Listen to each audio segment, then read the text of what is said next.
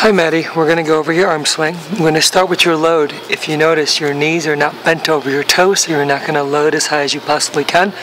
And your arms can be extended back just a little bit straighter because your elbows are a little bit bent.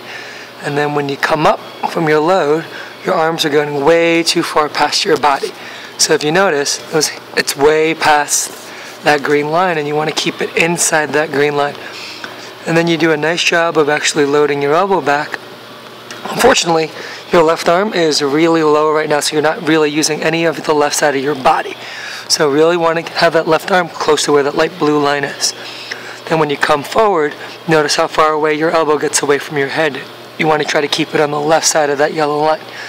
Um, from then though, you actually have a nice high contact point.